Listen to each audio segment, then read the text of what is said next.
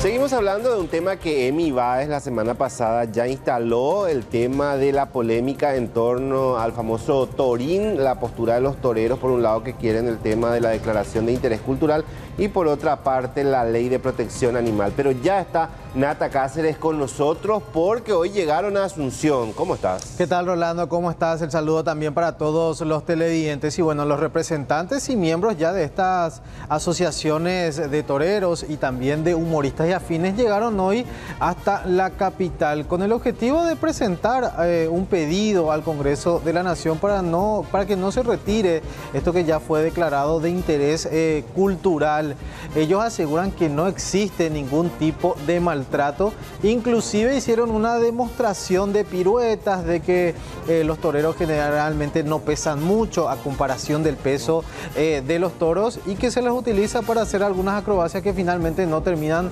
lastimando al animal, que se los usa una vez y luego vuelven nuevamente al campo a continuar con su vida eh, de forma normal. Así vinieron con música, con bandita, con, el uniforme. Con el uniforme también.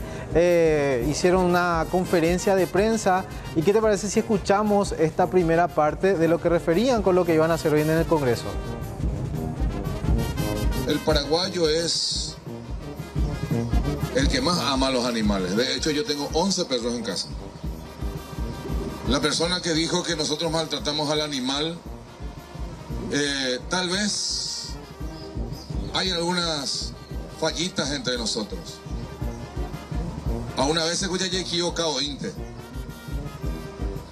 Como paraguayo, como 33 años de recorrer la corrida de toros y gracias a ello ambos estudiantes familia cueras ha, ha vivido una vida normal. Lo que la corábero o la toro máximo 10 a 15 minutos, corre. A una vez en el enseguida, en su, en el ganado y después lleva una vida normal. Es un animal de campo que nosotros amamos porque es nuestro, integrante del sustento del pan de cada día. No matamos, no clavamos. Es más,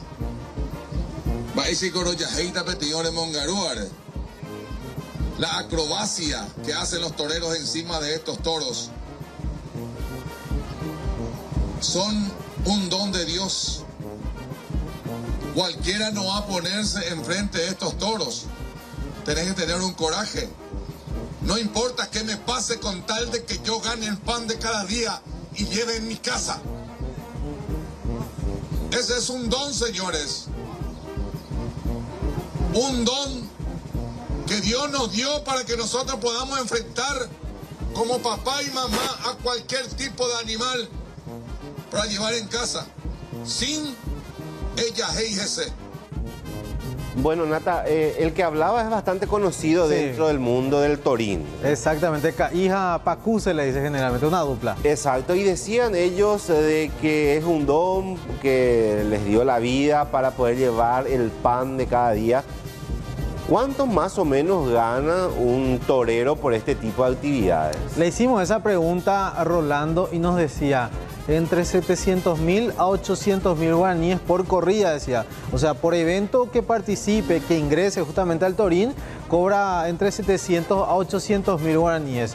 Según ellos, sacan sueldo mínimo eh, mensual, pero si uno suma 700 mil si hay un evento un viernes, un sábado y un domingo, supera lo que es el sueldo mínimo, pero ellos dicen que no, que hasta sueldo mínimo, en que inclusive un poquito menos, suelen sacar mensualmente. Y para algunos es toda una profesión porque hacen su gira por el interior del país, en fiestas patronales, en otro tipo de actividades y si partimos de esa base, 700, 800 mil guaraníes como mínimo, definitivamente genera mucho ingreso, no solamente para ellos, porque ahí, eh, ahí estaba observando asociación de toreros y humoristas también, eso me imagino que estaban los payasos. ¿eh? Exactamente, estaban todos ellos y decían, difícil que se pierda esta tradición porque generalmente apoyan los comercios, las municipalidades, los centros de salud inclusive y por sobre todo algo que caracteriza mucho también a estas organizaciones es que siempre cuando van a un pueblo de repente hay una niña que tiene un problema al corazón, necesita juntar 100, 200 millones, ellos lo, los ponen frente al público y terminan realizando